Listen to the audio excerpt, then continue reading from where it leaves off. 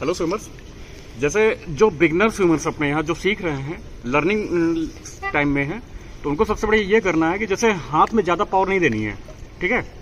हाथों में ज़्यादा पावर नहीं देनी और लेग में जितनी पावर हो सके उतनी पावर लगाइए। इससे ये रहेगा कि आप कम मतलब कम पावर में ज़्यादा दूर डिस्टेंस कवर कर लोगे। और अगर वही हाथ ज़्यादा पावर लगाओगे, आप ज़्यादा ज़्यादा दो या चार या छः आठ मीटर में ही रुक जाओगे। और वैसे अगर आप पावर नहीं लगाएँगे तो आप जो हो सकता है बीस या पच्चीस मीटर तक बहुत आराम से स्विमिंग करके जा सकते हैं।